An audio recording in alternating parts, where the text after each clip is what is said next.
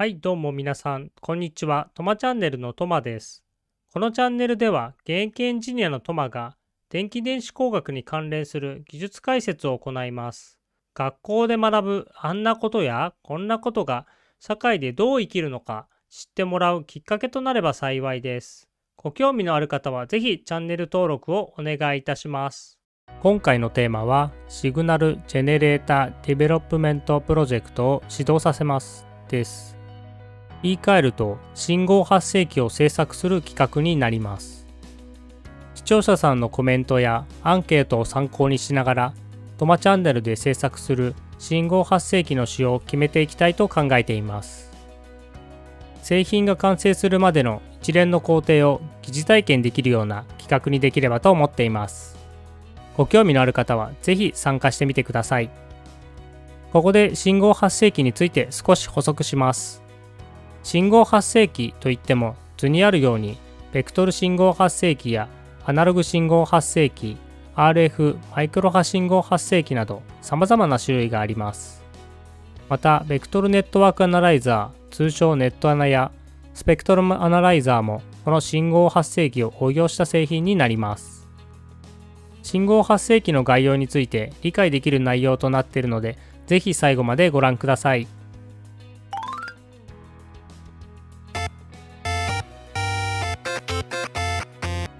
信号発生器とはどのようなものでしょうか？信号発生器とは標準信号発生器スタンダードシグナルジェネレーターという言い方をします。標準器より構成された周波数信号電力変調波形を出力する電気計測器です。信号発生器には様々な種類があります。ここでは5つに分類して紹介します。左から順番にアナログ信号発生器ベクトル信号発生器、ファンクションジェネレーター、下段に行って RF マイクロ波信号発生器、アジャイル信号発生器です。これらは用途に応じて使い分ける必要があります。信号発生器の使用例についてここでは3つ紹介します。まずはじめに RF アンプの評価で使用します。アンプの評価というとネットワークアナライザーを用いて反射特性やインピーダンスマッチングの評価を行うのが一般的です。入出力特性の評価では、信号発生器とスペクトラムアナライザー、あるいはパワーメーターと組み合わせて評価するのが一般的です。入出力特性のグラフを作成する際、入力レベルと出力レベルを Excel にプロットして描く必要があります。グラフを作成するのにある程度の時間が必要になりますが、高級なネットワークアナライザーになるとこのような入出力特性のグラフを自動で作成することができます。次に周波数混合器の評価です。周波数混合器を評価するのに信号発生器が2つ必要になります。1つはミキサーに入力する信号用です。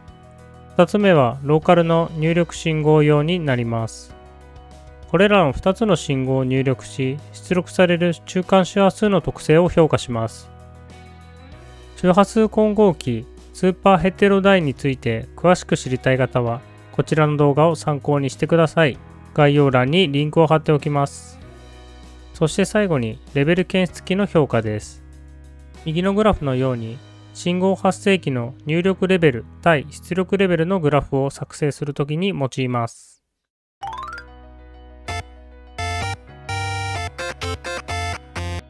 こちらの信号発生器について話します。この表は信号発生器の種類とスペックをまとめたものです。使用の項目は、型名、メーカー、周波数範囲、出力レベル、ハイパワー出力、アナログ変調、デジタル変調、外観です。まずはじめに、アナログ信号発生器とデジタル信号発生器を比較します。周波数範囲は 100kHz から 2.7GHz、4GHz、6GHz と選べる選択肢は同じです。出力レベルも同じみたいですね。オプションを選択することで下限の出力レベルを 110dBm から 144dBm に変更できます。GPS の地上での受信レベルは 130dBm と非常に小さいレベルです。そのため GPS の受信評価ではこのオプションをつける必要があります。出力レベルにはハイパワー出力のオプションがあり、17dBm から 23dBm まで出力を拡張することができます。このオプションは私もつけたことがないのであまり必要性を感じていません。次に変調についてです。ここに差分があります。アナログ変調はアナログ信号発生器、ベクトル信号発生器ともに行うことができます。デジタル変調はアナログ変調器では使用できません。ベクトル信号発生器のみの機能になります。デジタル変調について詳しい説明はここではしませんが、スマホや Wi-Fi のテスト信号が出力できるものと思ってもらえれば OK です。アナログ信号発生器とベクトル信号発生器の大きな違いは、このデジタル変調出力があるかないかです。次に RF マイクロ波信号発生器の違いについて見ていきましょう。先ほどの2つの信号発生器と大きく異なる点は周波数範囲、出力レベルの2つです。周波数範囲について下限が 9kHz と非常に低く上限は 20GHz、43.5GHz と非常に高いのが特徴です。出力レベルについても違いがあることがわかります。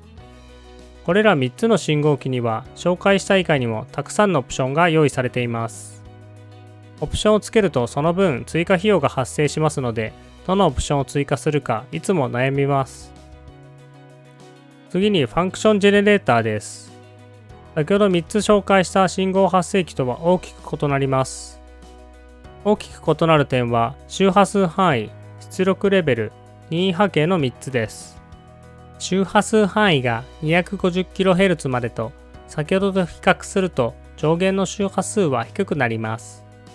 次に出力レベルですが、レベルの単位が異なります。先ほどは dBm の表記でしたが、こちらは mV/pp となっているので注意しましょう。そして最大の特徴は任意波形です。任意波形とは何かというと、本当に何でも変な形の波形も出力できます。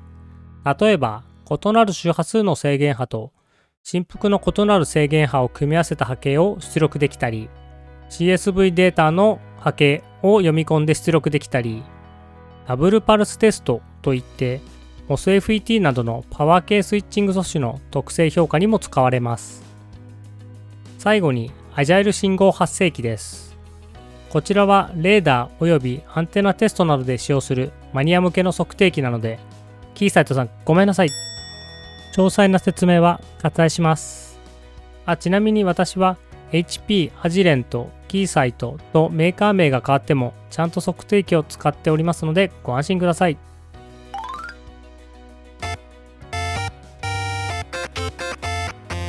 先ほどの表に今回のプロジェクトで制作する信号発生器のスペックを追加しました。電気スペックに加えてとても重要なのがサイズ、重量、価格です。お小遣いの範囲である程度の製品を目指したいと思います。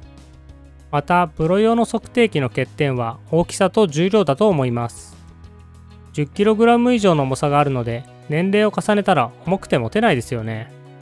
また、ナノ VNA みたいに持ち運びを想定しているわけではないので、ある程度の大きさがあってもいいかなと思ってますが、小さいに越したことはないので可能な限り小さく設計したいと思います。